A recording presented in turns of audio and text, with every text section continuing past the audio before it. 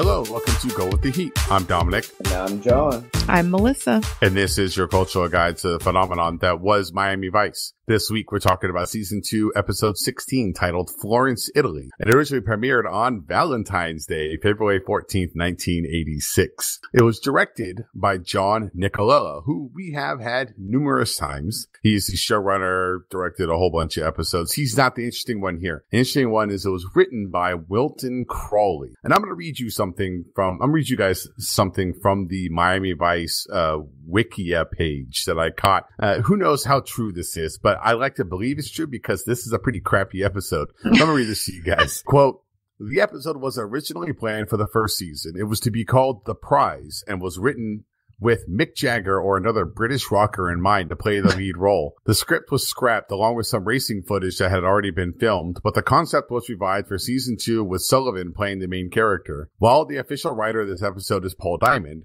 the name listed in the credits is Wilton Crawley, which is the pseudonym for an unhappy writer. Wait, what? so basically they had this plan for the first season. Scrap Paul Diamond had written had basically written the episode in the for the first time, but there must have been someone else that touched it to get it ready for season two, but then decided not to credit him because he was they didn't like him or it was a bad episode or something. They just decided that we're just gonna title we're just gonna give the writing credit to some made up person named Wilton Crawley. No, see, this goes with my theory that they at some point they lost part of the script or you know they did it out of order or something, and then he, the guy who wrote it was probably like, I didn't write that. I imagine. So they had There to make up a credit. It, it, it was written by some dude. I imagine for this, and this is how this episode plays out. They had a very detailed first five pages of the script, and then it just kind of trailed off. And then there was some notes about some ideas on how it might end. And then they just went with it. Get the cameras. Yeah. Get the people. Just, let's go for it. Yeah, the second half of the episode was written on a cocktail napkin.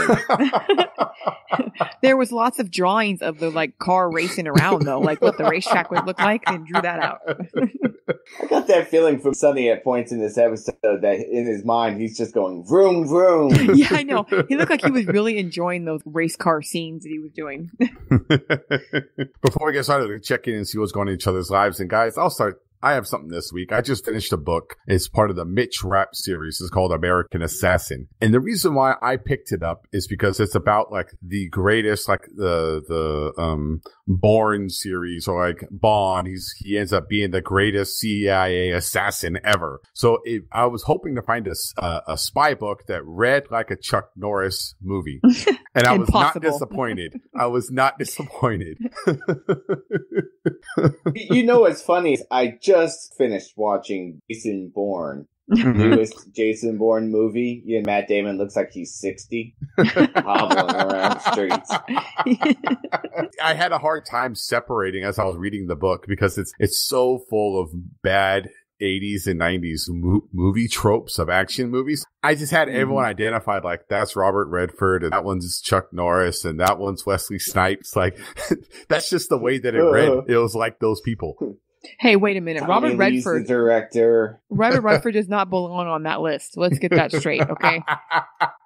You remove him off that list. He is not. It's just such a shame because they they have decided to pick up this book. They're going to turn it into a movie. That's going to be a series based on the Mitch Rapp book series. It's just such a shame that Tony Scott can't direct these movies. yeah, What unfortunately. nationality is Matt Damon going to play in this movie? I know. Let's go over and talk about this episode that is full to the brim of montages because it just wasn't enough content to go around. so let's go talk about this episode. So we open up once again on the streets of Miami and it's like just ah back to Hooker Row, the famed Uh-huh. sightseeing site of Miami. And I have a question again, the second week. Is prostitution illegal in Miami? Because it sure as hell doesn't look like it is. I think there's just Yeah, too it many actually hookers. looks like it, it. It almost looks like it's pretty much a big part of their economy down there. well, Melissa, it looks like the popular spot to hang out at Hooker Row is in front of Concord Electronics. I did see that. I noticed that. Also, the croissant store, the croissant Yes. bakery. That's, that's a popular place because, Because- no one is buying croissants. because for God's nothing sakes. goes with yeah because nothing goes with better with bread than hookers well, I mean, it is. It's, it's it's a fancy bread at least, right? It's not just regular bread.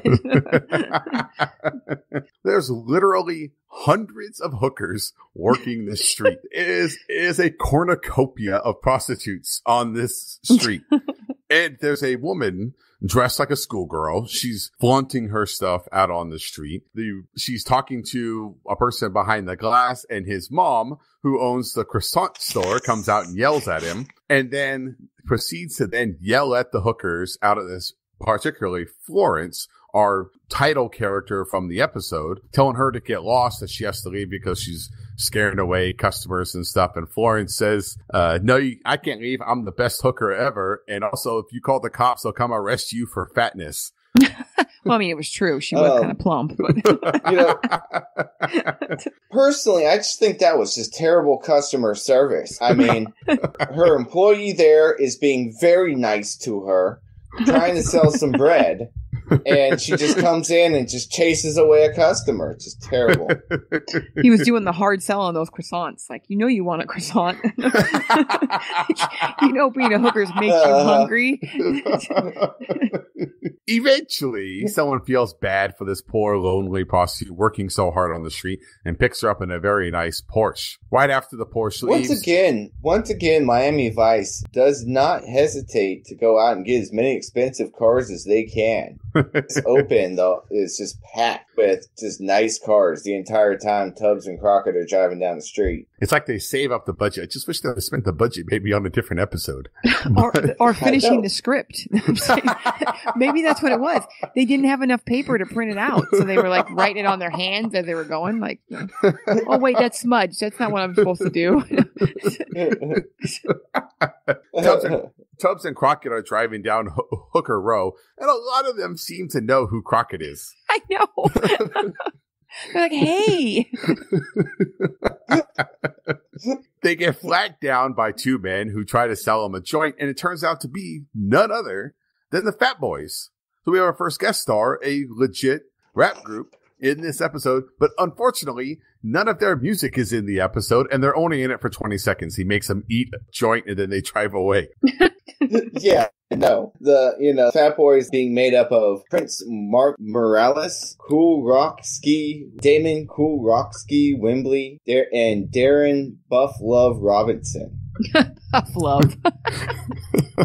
Sorry, that was too much for me. I just I, I love their nicknames. I just wanted to get that in there. Yeah.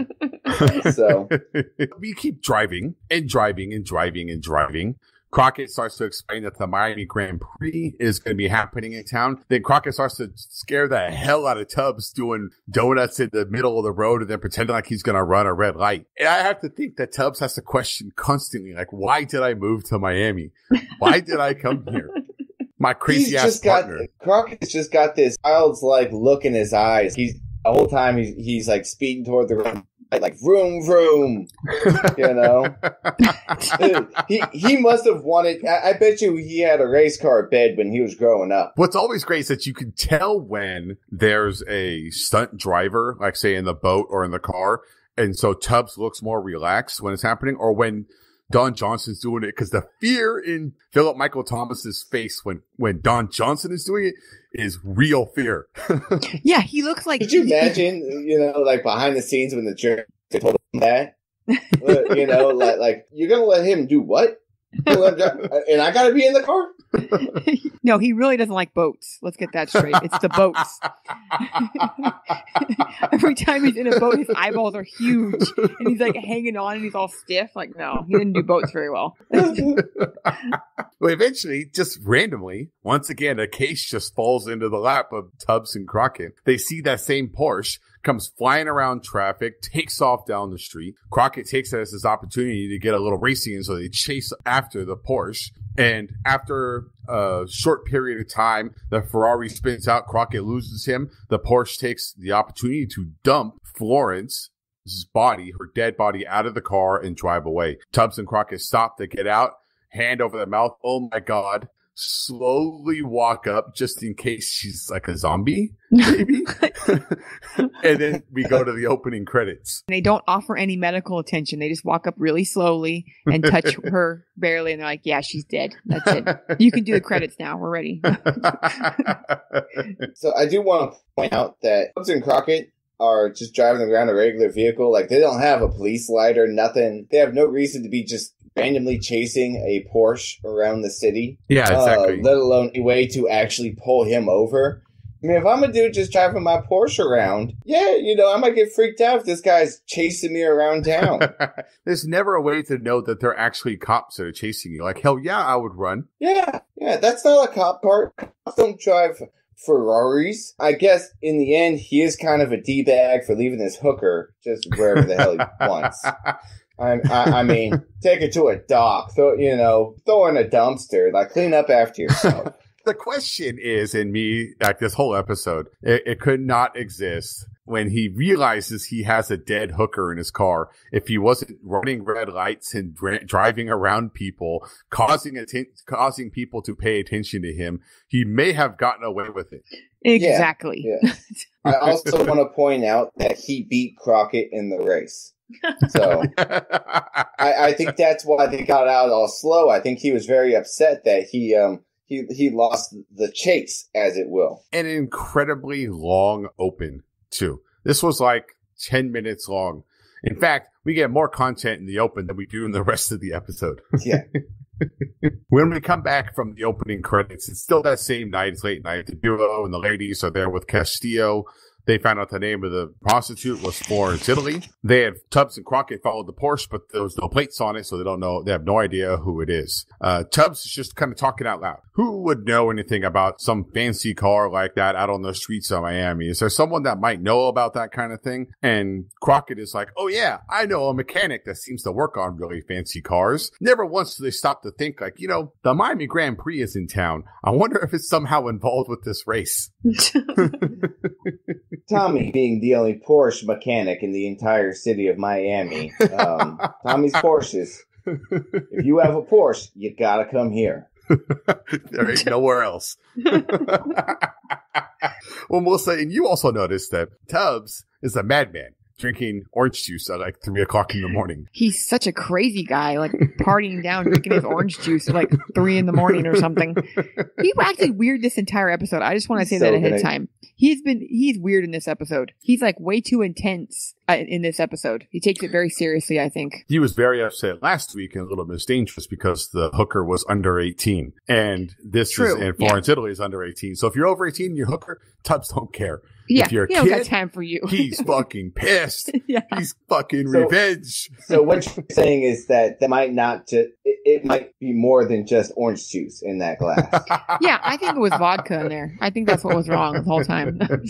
the next morning, the duo goes over to Tommy's repair shop, and like this is the setup here is nothing. They just come inside. Hey, you know anything about a Porsche and a 906 Carrera? She's like, yeah, a lot. There's this one guy named Danny Tepper. He has one, and uh, he's he's entered in the Grand Prix for the first time. His sponsor's some beer company. He lives over on this street down by the water. You should go talk to him. yeah, and she never asked like feel why they want to know. I, I feel bad for Tommy, actually. I feel bad for Tommy because her character was brought in to replace the Doug Man, and Mhm. this is all we're gonna get is these little stop offs for her to to feed them information. I know Um, it's so sad that we, we not only do we have to say goodbye to Noogie, and so now we're saying goodbye to Tommy too. Such a sad Yeah. day. Now on the plus side, we get way more Izzy, so that's okay too. Now, Izzy's the best anyway. So. he is the greatest actor ever. yes, that's what I meant. He's the best of all According to time. You know, yeah.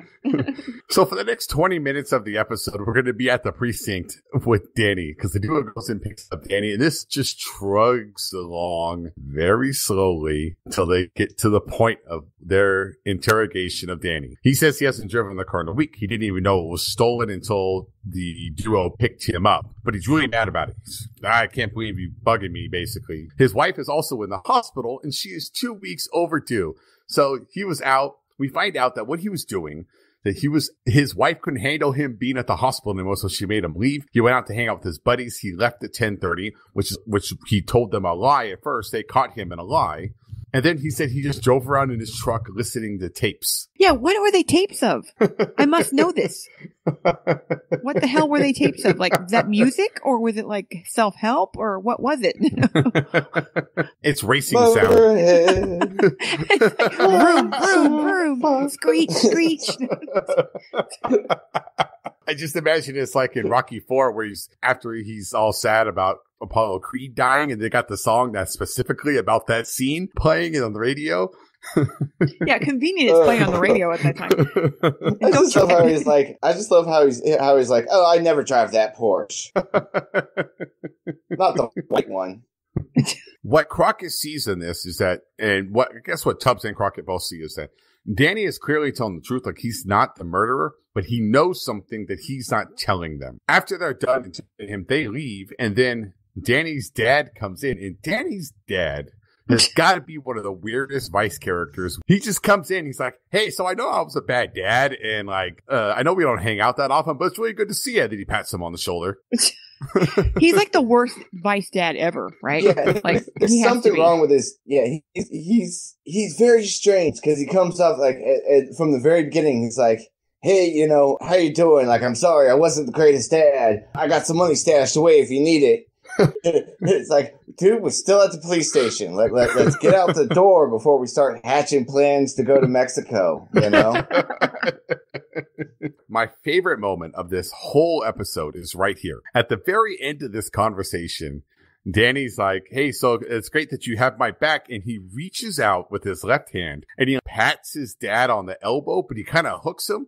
Like, like maybe the dad didn't know that in the script it called for him to hug. They like didn't like each other. So the dad, so the guy who plays Frank wasn't going to hug him. So there was this awkward moment where Danny like pats him and then they're just like staring at each other, but it wasn't following the script. So Danny, the, the, the, indie driver was really confused. I have created this huge backstory on this scene because it is so awkward. It's so awkward. He just kind of reaches out and taps him on the elbow. And then on top of that, John, you, uh, uh, you'll fill us in on the person who plays Danny. He's not even an actor. So that's even better. It's like, okay, so they told him to do something and then maybe Frank, the act, the guy who's playing Frank didn't do it. And so now he's really confused because he's, he really is a race car driver. let's not get too far. He he he does consider himself an actor. um, even though nothing that he actually I mean- acted on is anything that I think made money. Um, except for commercials. But he is played by Daniel Sullivan III. Danny Sullivan being a an actual uh, IndyCar race car driver. Actually, when he joined IndyCar, it was still called CART. But a few interesting things. He worked as a lumberjack and as a cabbie before he he broke out in, in the racing. Uh, a cabbie in New York, which explains the racing background. IndyCar in 82. He tried for a year in Formula One before going back to IndyCar, where he would basically be successful, man. He in the Miami Vice episode because he might have just happened to win the Indianapolis 500 in 1985. oh, that, that little known race. Yeah, yeah. So he's pretty, pretty much. This is the high point, and for one of the high points for him, you know. but he would actually have five top tens in the Indy 500. He would win uh Indy Championship in '88. I'm gonna I'm gonna call a conspiracy theory in here because Danny Sullivan the third he looks an awful lot like Kurt Thomas, who was the one that starred in the movie Gymkata. Those two guys look a lot alike. And Gymkata happened to come out in 1985. Dude, uh, you know, I was trying to. I, I was watching it, uh, watching the movie, and I was like, I can't put my finger on where I seen that guy from. So I think you hit it on the head there. But uh, Luckily for Danny, if he's if you really, Also, if he really is up. the same guy that's in Gymkata, things are always strategically placed for him when he needs to drive a car. there's a there's a Porsche car. There's there's a Porsche right there for him. If he needs to battle uh-huh. a gang of goons, there just happens to be a pommel horse in the middle of the area. little side note, not to spoil for the race at the end of the episode, but he also won the Miami IndyCar race in 1985 and 86. Oh, So, weird. Yeah, yeah. So he actually won this exact race in the show. He retired from racing in 95 after he broke his pelvis in a uh, pretty serious wreck at Michigan. Oh, oh, Yeah. interesting. Um, Sorry, did you say he didn't die, right? No, Huh? no, he, Okay. he, he injured his pelvis. He said. Oh, okay, there we go. He broke He his died from- pelvis in an accident. Sorry. He He died of his dick being broken. he died from his pelvis breaking. Horrible out- sex accident. yeah, turns out that's where his heart This was, right in his should be pelvis. illegal. His humps just always lean to the left now because he doesn't have the strength anymore. His lovely No, lady I mean, I- humps are ruined.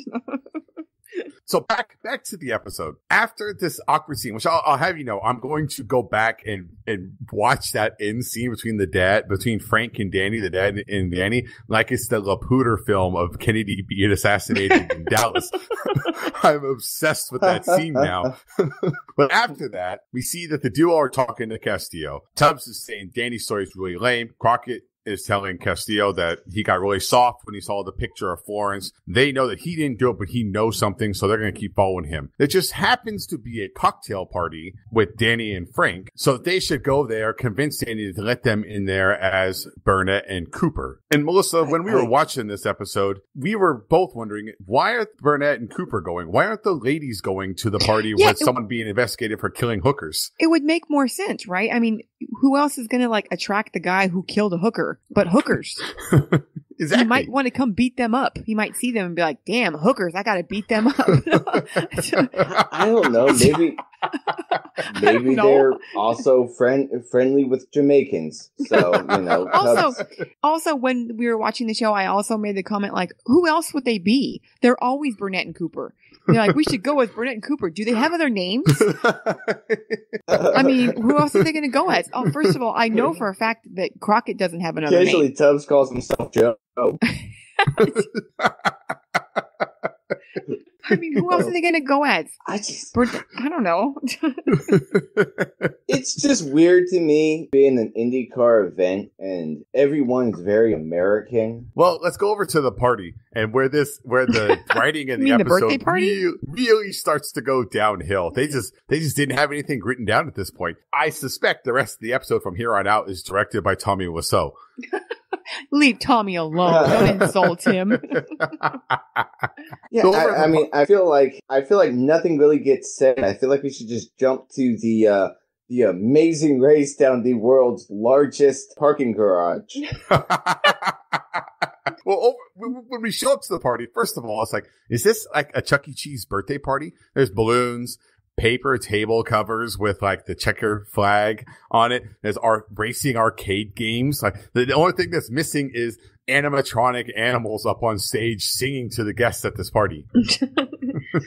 and we come in and there's a man who ends up being Worthington, Marty Worthington. He's talking to a man that has, to another man that has an amazing skullet.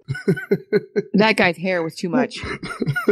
It was too distracting. I couldn't concentrate on what was being said. I just kept staring at his like receding hairline. Like, why didn't you just shave it off? Just shave it off, or at least cut the mullet part. and the conversation between these two, I, I can't even put together what the hell they were talking about. All I have is that one person says Danny's dad's too old to be racing. Cause so we find out that Frank, his dad, is also racing in the race. Then the other guy says like, well, then he also says for some other reason, he says, well, that's D-U-M-B. no, you're too. If you think that's the case, then you're too dumb to figure it out. That's what he said in, in like some weird Southern accent. And he's not Southern. yeah. He's like, you're too dumb to figure it out. Like you're not Southern. Why did you do that? and I'm just watching him. I'm like, that's the bad guy from Dumb and Dumber. So funny story. He's a lot of different. Uh, he he was in a lot of different. He's got a very strange backstory. Let me just kind of run through it here. He is his name is Charles Claverie. Probably pronouncing that wrong, but everyone Sounds good his to me. stage name his stage name is Charles Rocket. So also known as Charlie Hamburger and Char- Charlie Kennedy. And I knew you were gonna love that Charlie Hamburger part. Sorry. Yes. Yes.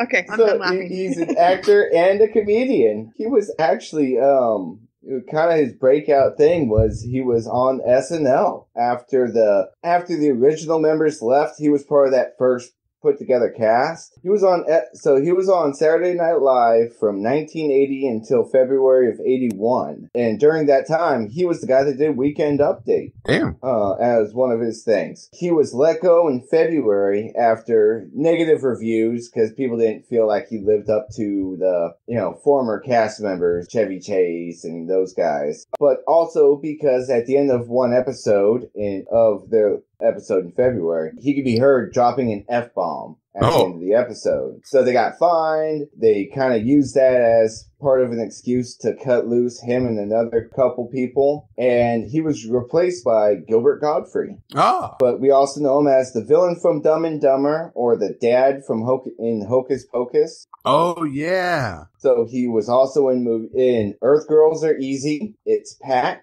and Dances with Wolves. What Um, an odd he's mix. guest- yeah, dude, and he's guest starred some TV shows, quant- like Quantum Leap, Wings, and King of Queens. He also played the accordion and was the front man of a band called the Fabulous Motels. Mm. For a short time, he was also a news anchor in Colorado under his given name Charlie Kennedy. But sadly, his life ended in October 2005 when his body was discovered in a field next to his Connecticut home. They found him, his throat had been slit, and ultimately was ruled a suicide, which is very odd. to say least. Questionable to say the least. Yeah. Yeah. And that that was that was just a roller coaster ride. Like, He's all over the place. Yeah. Yeah, Well- like I said, just kind of a mishmash. Well, there's no real way to segue from an unfortunate death of an actor who we've seen in a bunch of different stuff. So let's just go over back to the Skullet Man goes over to the bar and here's Tubbs telling Danny about who, asking him who the murderer could be.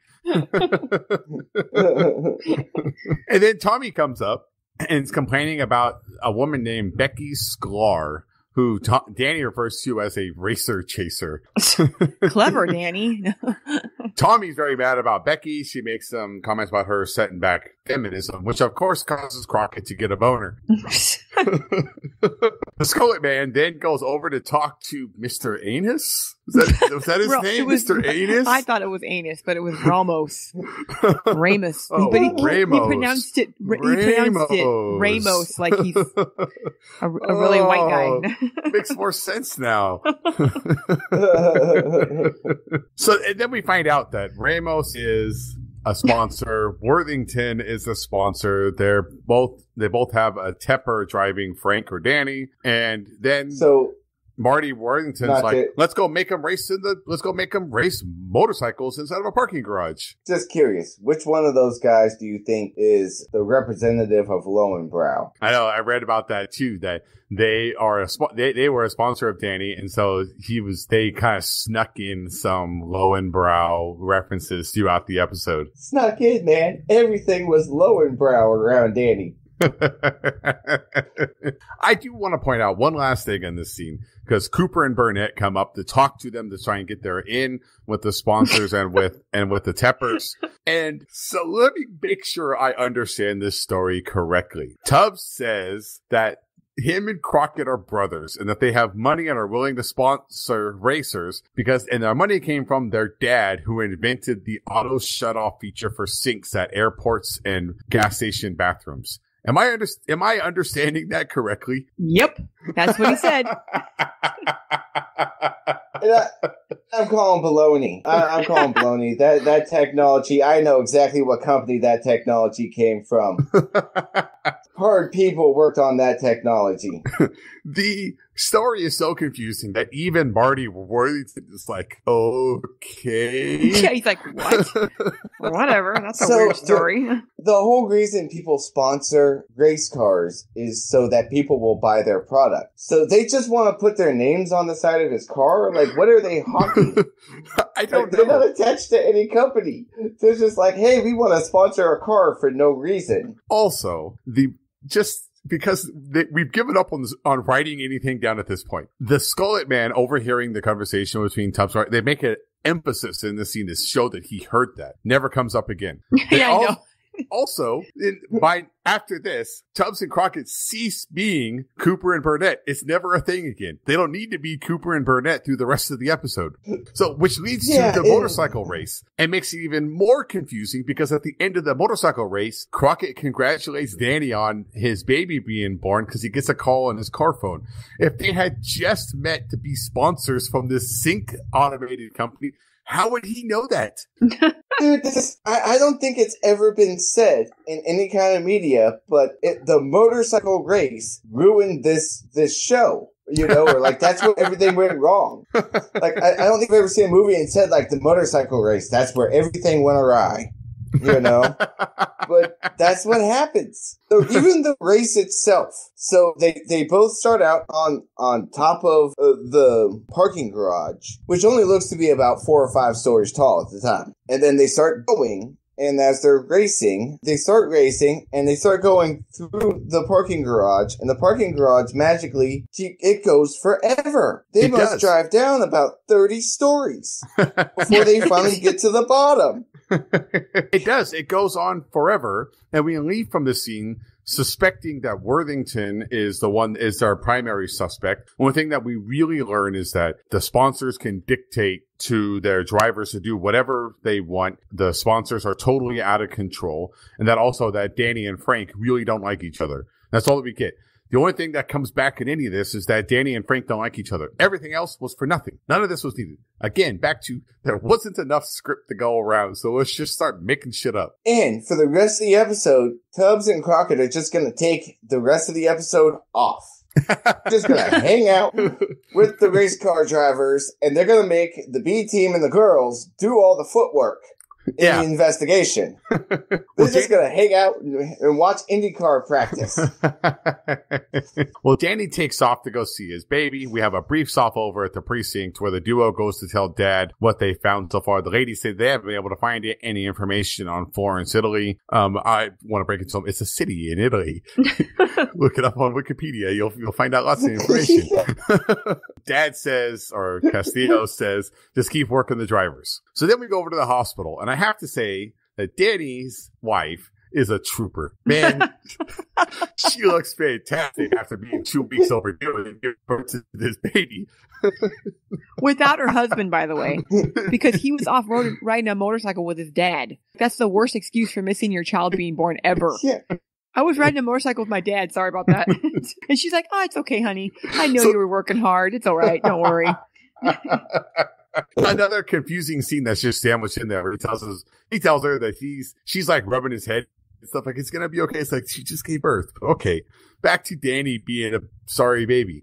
He's really mad that the cops don't believe him that he didn't have anything to do with it and that they made him let them work the party. And then he opens up this package that was anonymously dropped off, and inside of there is a Porsche that's been crunched up and burned, like a little mini model. Which means I don't know. Did Frank drop it off there? I don't know. I think he I don't did. know what it means. I think he did. I don't know. Yeah. That that Well, doesn't come back um, either. It never makes any sense why they even talk about why they even show it. I mean, No, You know, Danny's there whining like, you know, everyone I pay believes me. I don't get why the cops don't believe me. Because I mean, it, you know, every day someone steals a car and kills a hooker. Um, you know, and then like, it, if Danny's dad is involved, wh- why would he send that? If he was, was he blackmailing him? I don't know. Like maybe Um, I don't I, get I it. just, I'm so don't know. confused. So this this I ep- feel like we need a montage. Yes. You know, we just need a montage to think about things. let's let's shake it off. We're gonna go to a montage. We have a first stop at the croissant store. The ladies ask the mom. She's like, "Yeah, I, re- I re- recognize the hooker, but they get no information." And so then the team starts working the street, and we get a hooker search montage. By the way, by the way, bread lady still not selling any bread. Can't no, even sell donuts to cops. nope. She couldn't sell anything. She's got a terrible attitude, by the way. So in the hooker search montage, we get these so often in Miami Vice. We really need like a special name for them because they just happen so frequently in Miami Vice, where the team is out working the street talking to hookers. I, I'm getting so familiar with them that I'm starting to look to see if they're the same hookers. Like if I recognize anyone. Is it the same montage? They're just using it over and over again. maybe. Also, Uh. they, you know, it would be good like a theme song for the hookers while they that could be their montage, and you know right away there's gonna this, this is going to be looking for hookers. yeah, this is going to be looking for hookers. This song, Yeah. this is the hooker if, song. if Jan Hammer made a song, made the Crockett theme, and made the Tubbs theme, this should be the hooker montage theme. This should be a Jan Hammer ho- hooker theme. For the record, I don't think I'm Tubbs sure has a he theme. tried. I, I'm sure he came to him with like a, a clarinet solo or something, and they just looked at him funny. He was like, "What is the hooker thing? Oh, sh- uh, never mind. All I I'm could think go about back to hanging was- out with Phil Collins." All I could think about was Squidward when he said the clarinet, like Squidward and SpongeBob, where he like rides his bicycle underwater and plays the clarinet, all sad. We have a so this again. We have all these scenes that don't make any sense. They'll never tie back to anything. There's a really fast scene where the B team p- picks up the drag queen that was hanging out with Florence. She doesn't have any information. She doesn't pass along anything, so it's all for nothing. We head over to the track the next day, and the duo approaches Danny, and Danny's getting really tired of being harassed. Frank comes over and Yeah, Bad and tells him you to know- get lost. I'm just gonna stop you. Pretty much, no one wants to talk to the duo at the track, and so the only way they can get information is to do what they always do and find a hot dog cart. very soon because Tubbs. So in the argument with Tubb with uh, Frank, Tubbs says, "quote Why don't you get out of my face, man?" And I just love Tubbs's wisdom, straightforward honesty. I just, I just love the man. Frank storms away. Danny looks back at Crockett, all sad, like "Save me!" Crockett runs over and tells Danny that Abigail Cook was Florence Italy's real name. Clearly, Danny knows something. He's just not telling him, and Crockett can see it. So then the duo decides to leave, and they're like, oh, shucks, we're back to square one. And Tubbs finally puts it together that the racer chaser, Becky Sklar, who sleeps with everybody, might know something if a driver's involved. And Crockett goes, yeah. And then they take two steps forward and go, hey, Becky, can we talk to you for a minute? Convenient, she was right there. Really. And then, Well, like of you're course, saying, that's John, the hot dog cart. Yeah. I just thought it was interesting that they took the racer chaser over to the hot dog stand. Yeah, I She's know, already I know, seen 'em dude. all. It- like they start talking to her, and she's like eating a hot dog while they're talking to her. like that's got to be so distracting if you're Crockett and Tubbs. So then again, we're at a scene that makes no sense. She says that she slept with most of the drivers and the mechanics on the tour. Crockett asks her if she knows anyone of anyone who's been rough with women or something. And she just like, just tries to storm away. Tubbs grabs her and she then says, I was in the hospital for nine months. My jaw was wired shut. You're never going to protect me. Well, she's right. The bike Yeah. team isn't going to protect her. No, no. I just everyone keeps making this face like Tubbs and Crockett just reek or something, you know. she storms away, and they're not getting any. Crockett's like, not gonna get anything out of her. It's like, okay, cool. Thanks for the last five minutes. The scene was was for nothing. Yeah. So then they're still just hanging out on pit road, and they see the Teppers up at the top of the grandstands ha- having an argument. So then the camera jumps up there, and we have a chance to listen in on the conversation, and we jump right into here. Frank tells Danny, "Sorry, but your mom was a whore." And I don't think I'm your dad because she slept around a lot. There's this guy Pete. Pete used to come along. Frank's saying to stop worrying about the being accused of murder, concentrate on the race. It's what's best for Danny Jr. And Danny just And storms so off. it's clear at this point that the, Danny's dad's the killer, right? Like, Yeah. It just makes sense now. Yeah, he's just covering up, making sure his son doesn't talk about it. The next day at the race, we have another montage. It Because goes why on. not? yeah, it's basically a music video. It lasts like the whole length of the song, and then it ends with us seeing a So- conversation with Marty placing a bet on the race. Which doesn't I- really I come into do- play. I do want to point out that our guest stars, the Fat Boys, covered both the Twist and the Beach Boys Wipeout. Uh-huh. Neither were used for this montage. Why even have the Fat Boys on? Why? Why? I know. I know. Tell me what Wipeout would not have fit in that moment. It would have. At the end of the montage, we head out to the street, and once again, depressed Tubbs and Crockett are kicking their can down the road. Like, I guess we're gonna go back to square one. We got nothing. And Tubbs is like, "Hey, Crockett, I'm going to get you a, ca- cappuccino, something a little different, which means that normally Crockett would take whiskey at this point. and they just happen to be, he goes to get a cappuccino from the croissant store. Notice he did not get Sorry, a croissant. no- No one wants your damn croissants. not the hookers, lady. Notice It's your how at the croissant. end of the scene, notice how at the end of the scene, he doesn't even leave with coffee. No. No. All they do is bread, and no one wants her bread. This lady doesn't get it. Tubbs happens to see that they have a security camera and was able to get a tape from mom. I'm just going to call her mom. get the tape from mom from three days before so that they can look at the tape. He just flashes his badge. No warrant or anything, you know, just flash the badge and you give me the tape. Over at the precinct, they're watching the tape and everyone, I like, it's my favorite trope of a police show. They're watching a black and white mid 80s security camera and they just sit in front of the rolling, t- the TV on the rolling cart and just scream at it.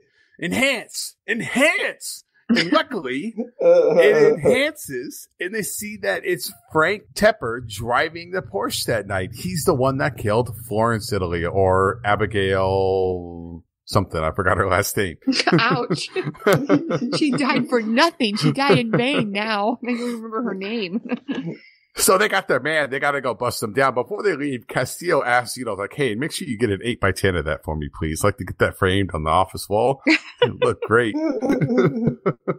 So now we go to the final scene of the episode. The race has started and the duo plus a whole bunch of officers are racing over, get it? Racing over to the track to go arrest Frank. And then we go into another montage. This time we essentially watch the entire race.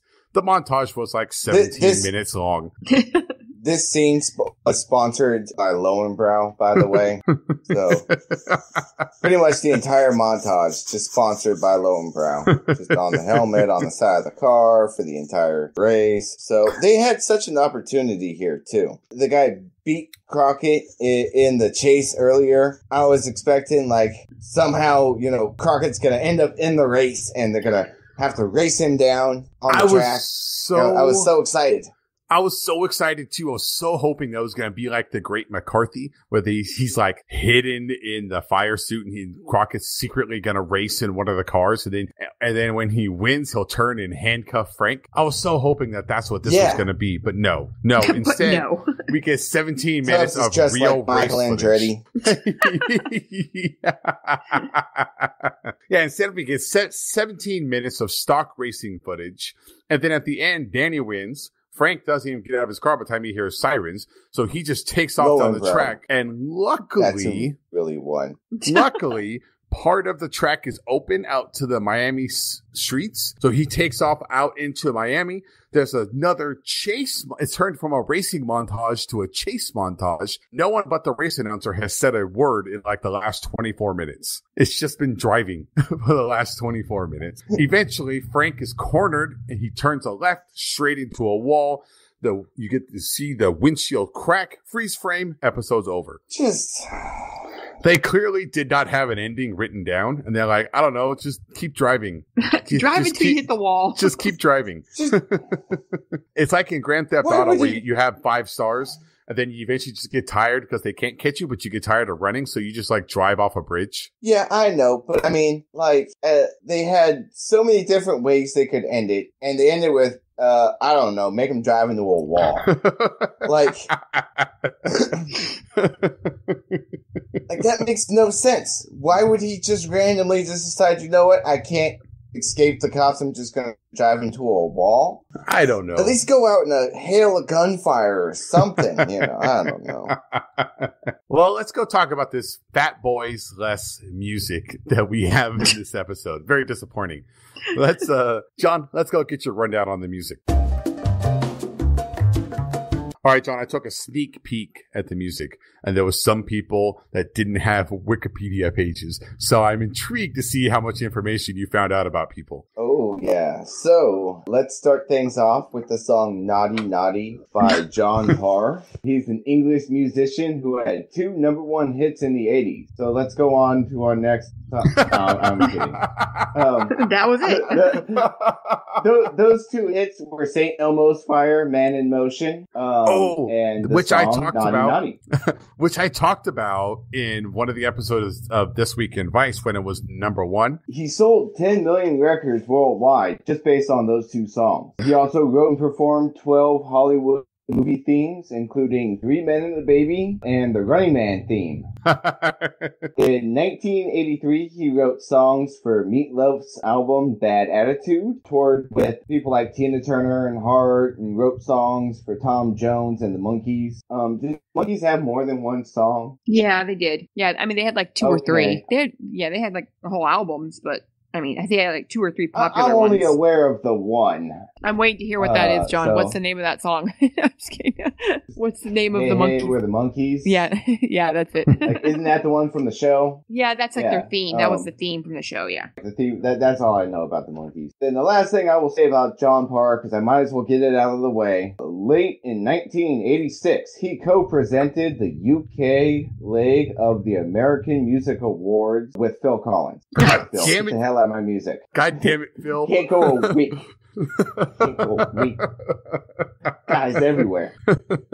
All right, our next song is "Selling the Store" by Cliff Sarday. He's a Grammy-nominated composer, video editor, and recording artist. He plays the saxophone. He was he led a saxophone jazz fusion band uh, and released four albums in the 80s playing saxophone the flute the guitar and the keyboards. So and then he just does a bunch he just did a bunch of composer stuff. So outside of playing jazz music but if you're not into jazz you probably wouldn't know or if you weren't into jazz in the 80s you probably wouldn't know who th- who this guy is So, Miami Vice um, soundtrack is a deep cut of jazz. Like if you wanted a jazz education, don't take that community college class. Study up on the music that was in Miami Vice. Yeah, yeah. So Dominic, if you want to learn more about Cliff Sarday, he lives in Phoenix. So I'm pretty sure he's local. You can friend him on Facebook. Um, I almost did, but I thought it would be a little weird. Um, so the next song is "Cruise Missile" by the Steve Morse Band. Let's see, guitar, uh, guitar, the composer. He's best known for his band Dixie Dregs, and then in 1994 he became the guitarist for Deep Purple and Huh. recorded six albums with them. I didn't know Deep Purple kept making that many albums after 1994. I didn't know they had that many Uh, albums. Dude, doing my research, I, I found out that sometimes that Deep Purple still tours, and sometimes Joe Satriani tours as their guitarist. I want to see Deep Purple now. Yes. So Di- Dixie Dixie was his band he broke out with in about 1983 until about the late 80s. Well, until 1986 when he joined Kansas. He would only be in Kansas for a year and he would play on their albums Power and their album In the Spirit of Things, but he also co-wrote one of their top 20 hits. Every person who currently lives in Kansas has said, I'm only going to be here for a year. yeah, I know. They're still there. They're still there. Uh, yeah. yeah. So he recently joined the super group Flying Colors. I don't know why they're a super group. Uh, I mean, one of the his he joined with his longtime bandmate Dave LaRue, who was also in Dixie Dregs. So I mean, I guess that makes them, you know, because they were in the same band once. That makes it a super group. I don't know. So what's kind of funny about Dixie Dregs as a band is that they kind of they, they kind of had to fight for it, man. So they had one label bankrupt on them, and then they had another label that forced them to add lyrics to songs. So the the label that forced them to add lyrics to songs forced them to do it on an album they called Industry Standard. I, I think for ironic purposes. Uh, and people loved it. Steve Morse was voted best guitarist and held by Guitar Magazine and held that title for five years based on that album alone. Good call, record industry. I, I don't know. I, I will point out that Guitar Magazine, the only other person who has held that honor of best guitarist for five years was Eric Johnson, who's another famous guitarist, and Steve Howe of Yes. Suddenly they lost a lot of credibility. yes. yes.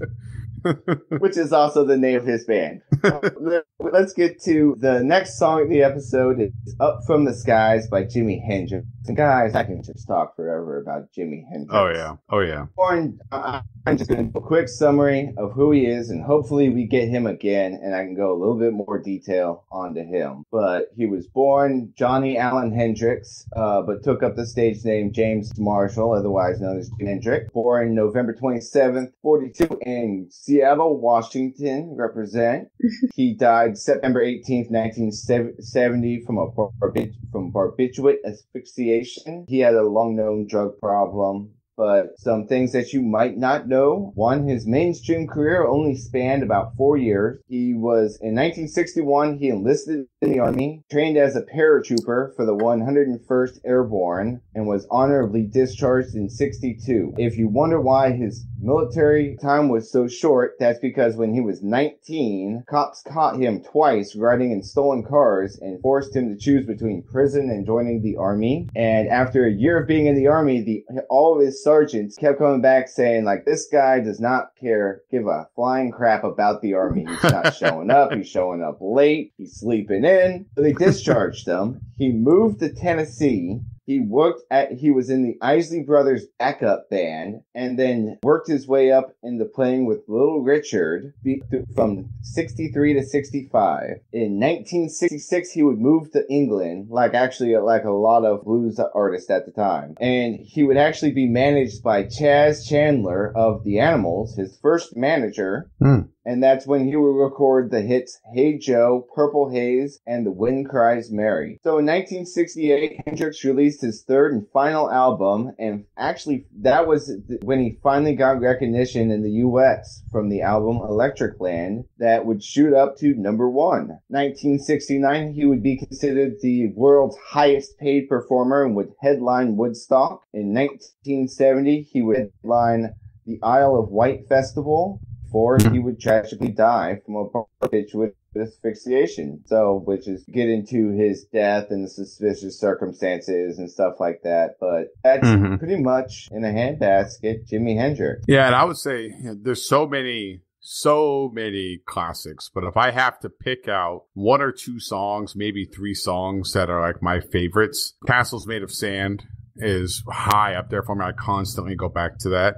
Red House, and of course, The Wind Cries Mary. Yeah, yeah, I think The Wind Cries Mary is probably my all time. But let's just to get this music segment over, let's jump to Mercury Blues, the last song in our great show. It was released by David Lindley, aka the Paris Vetant. um, he is a rock, country, and world music artist, whatever the hell world music is. Um, No one listens to it, so, So- we don't know. so here I'm just gonna do something fun. He's a he's basically a guitarist, a hired hand guitarist. He toured with people. He was uh, he initially broke out in the '60s with a band called the Kaleidoscope. No they put out four albums. Seems like they were like a big band type band, and they tried to do psychedelic music, and were all totally hippie. And but since Kaleidoscope, he pretty much he toured with Crosby, Stills, Stills Nash, and Linda Ronstadt, James Taylor. You know, they all hang out um, so he was basically just a hired hand. You know, when they went on tour, he'd go play guitar in the background. But he also had his his own band. In 1981, he formed his own band, El Rayo X, which they would perform from 81 to 89. And I'm just gonna run through all of the different instruments that David Lindley knows how to play. He can play the guitar, the upright and electric bass, play the banjo, the mandolin, the cittern, the zowski, the bağlama, the gumbus, You're just making the shit up now. yeah, I know. This is made up. This isn't real. I'm not done yet. I'm not done. He can also play a kumbis, a zither, a hardened filele, a- and a fiddle. Well, the just threw fiddle. In at the end. One normal instrument, and the rest are all made up. But wait, which one of those is your favorite? Um, the kumbis I, I like the charango, but the kumbas is pretty good too.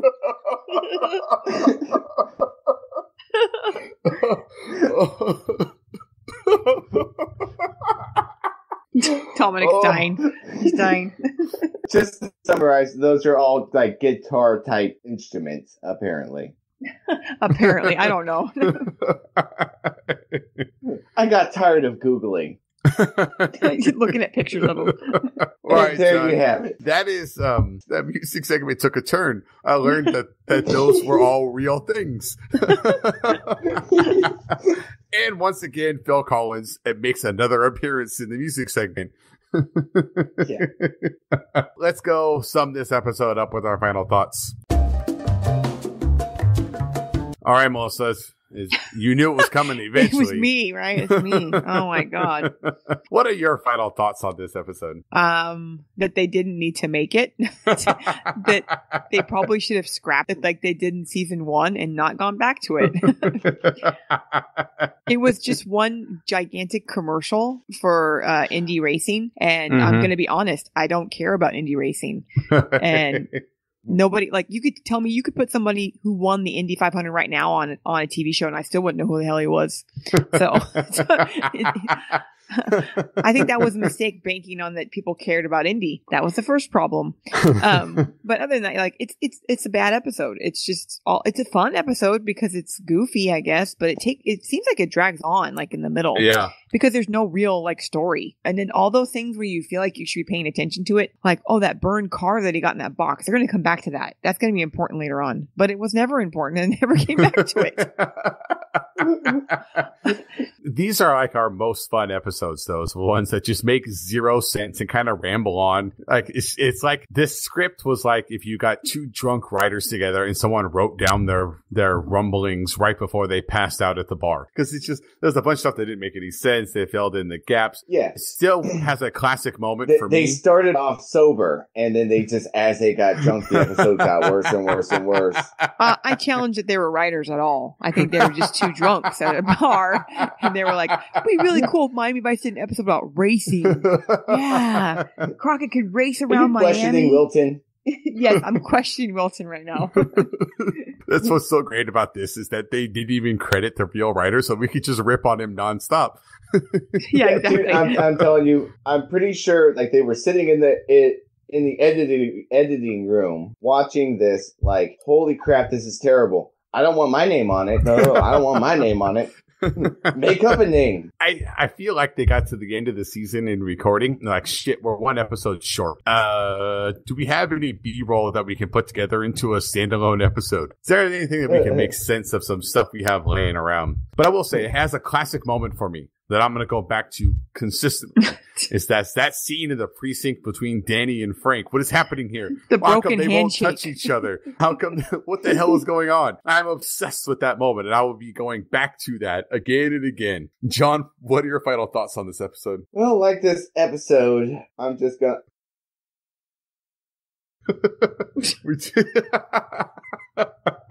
We- John, are you still there? Yeah, I'm still here. Figured, you know, if they didn't bother to come up with an ending, why should I come up with an ending? I don't. Why is it my job? Why am I gonna have to put an end on this? I got to do everything Drove into for a you. wall. No one cares. No one cares. He drove into a wall. What are we gonna do? Löwenbräu sucks. Um, That's gonna do I'm it gonna go play. I, I, I'm gonna go play with my zither And your kumbis? and my bağlama. well, that's going to do it for us this week. We hope you enjoyed this episode. We would love to hear your feedback. Are we off on this episode? Let us know. Email us gowiththeheat at gmail.com.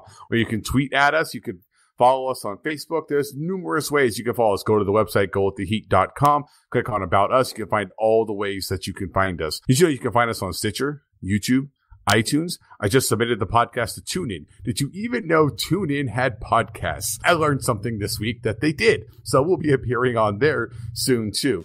We would love to hear from you. Email the show. Like I said, go with the heat at gmail.com. And we'll see y'all next time. Bye bye.